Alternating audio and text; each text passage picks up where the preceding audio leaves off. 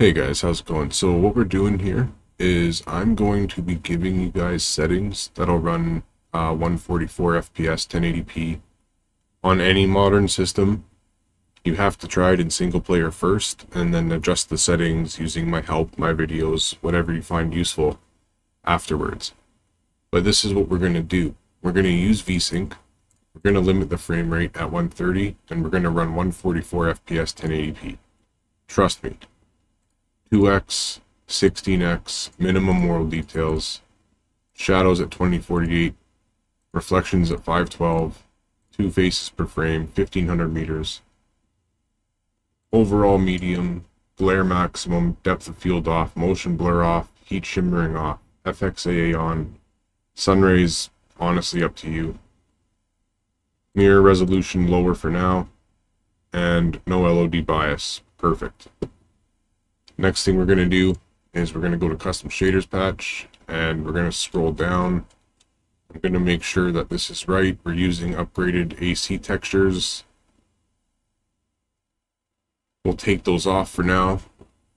Remember this button, upgrade AC textures. That'll look uh, it'll look a lot better if you do that.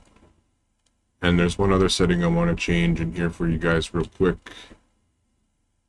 Force cold test might decrease GPU load by adding some extra CPU load. We don't actually want to do that. We want to make sure that we're using our graphics card. And this one too. We want to make sure that we're using our graphics card. Brake disc off. Colorful shadowing off. Extra effects. I'm going to turn it on. Remember extra effects. You can come in here and turn the whole thing off no motion blur. We'll use temporal anti-aliasing. We'll use screen space local reflections on medium old. And we're going to leave everything else off. Actually, we are going to turn on ambient occlusion. Fake shadow effects we'll have on. Graphics adjustments, force low res, perfect, perfect. Everything's good here, 100%, 100%. Right on. Medium quality there, perfect. Everything here looks good. We'll go to lighting effects. We'll do 10 cars, dynamic lights, no dynamic shadows. That's perfect. Particle effects, no sparks, no fireworks, no dirt, pieces of glass and stuff and crashes. That's perfect. That's what you want. You can edit your own smoke settings. I have a whole other video on how to do the smoke settings properly and how to change the smoke settings for yourself. So I have a whole other video for that. This is perfect already. This is good. This is good. This is all good. This is going to be fine. And everything here is good. So these settings here on most modern systems will be good enough to run at 144 FPS, 1080p, single player, no problem. Probably with a few cars and races, depending what track you're on, everything. Go try it out, go see how it works. And then what I'm going to do is I'm also going to save this as base modern as well. Oh, my bad. I actually need to go to... Yeah, that's perfect. Sorry, that's perfect. So the next thing here is we're going to remove extra effects, and this is going to be base modern no extra. All right so this is going to be no extra effects at all. And then another thing i'm going to do here is we're going to lower the anti-aliasing a bit lower the shadows a little bit lower the reflections a little bit lower the distance of rendering those reflections a little bit. We're going to turn down the glare quality a little bit turn down that a little bit.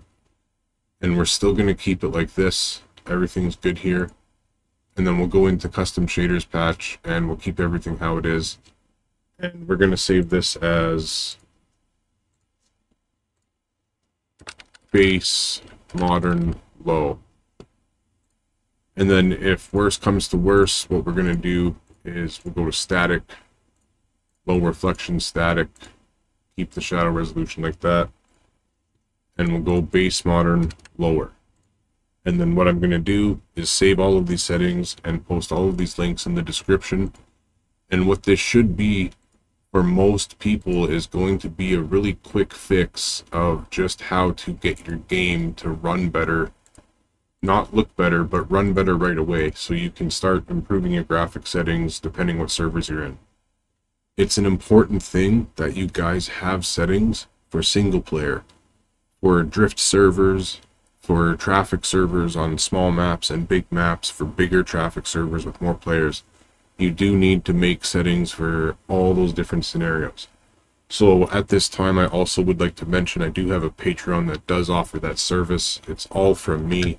And if you need any help with your graphic settings or you don't want to do it yourself, I have a whole list of things that I need you to do for me. Uh, your CPU, GPU, storage device, your monitor. I need to see what you have, how much space you have on your system, um, your current settings that you have for AC video and all that stuff. If you have any programs installed, like uh, lossless scaling or anything like that, you send me all of that information and then I can go ahead and take your settings, tweak them, and let you know what I changed, why I changed it, and if I don't improve your settings, I will give your money back. It's as simple as that. So these settings are all going to be posted in the description. Hopefully they help you out. Have a good day, everybody. Take care.